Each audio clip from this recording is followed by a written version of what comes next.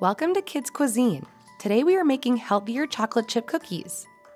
I know, who wants to eat a healthy cookie, right? But trust me, these are delicious.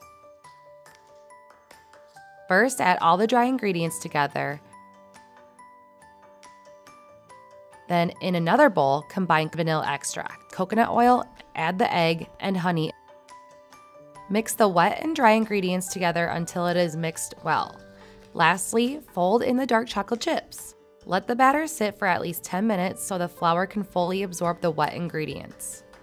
After the 10 minutes are up, scoop the dough and place it on the parchment paper on the baking sheet. Slightly grease your fingertips to press and flatten the dough. Set the pan in the oven set at 375 degrees for 10 minutes, and voila, you have yourself healthy chocolate chip cookies.